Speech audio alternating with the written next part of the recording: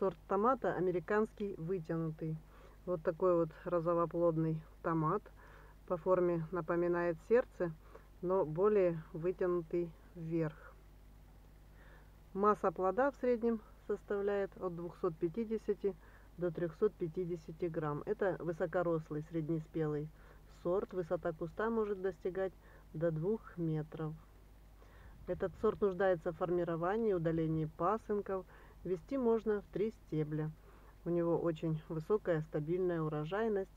Сорт считается высокоурожайным и устойчивым к различным заболеваниям.